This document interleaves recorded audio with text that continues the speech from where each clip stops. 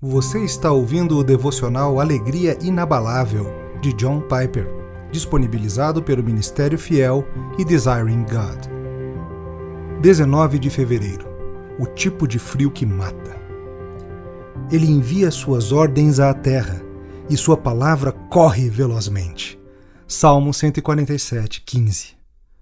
Hoje à noite estará 4 graus mais quente em nosso freezer da cozinha do que aqui fora em Minneapolis. A temperatura mais elevada amanhã será de 20 graus abaixo de zero. Nós recebemos isso da mão do Senhor.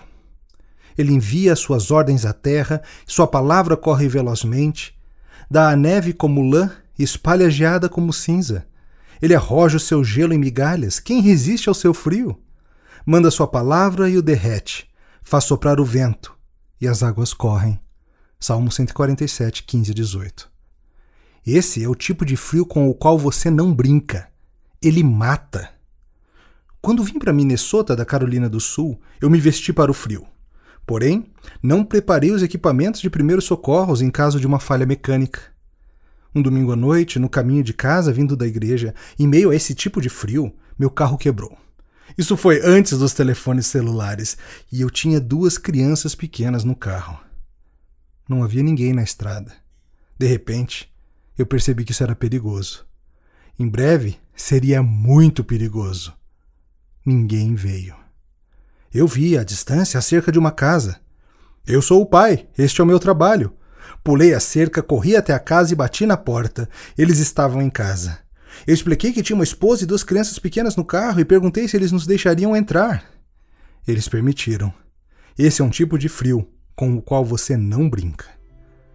Essa é mais uma forma de Deus dizer: esteja quente ou frio, alto ou profundo, afiado ou sem corte, barulhento ou silencioso, iluminado ou escuro, não brinquem comigo.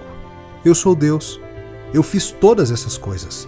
Elas falam sobre mim, assim como as brisas quentes do verão, as chuvas leves, as noites agradáveis iluminadas pela lua, a movimentação à beira do lago, os lírios do campo e as aves do céu.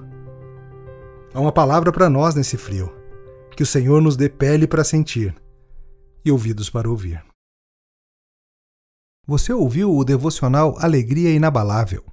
Para outros recursos gratuitos, como pregações, e-books e artigos, visite www.ministériofiel.com.br.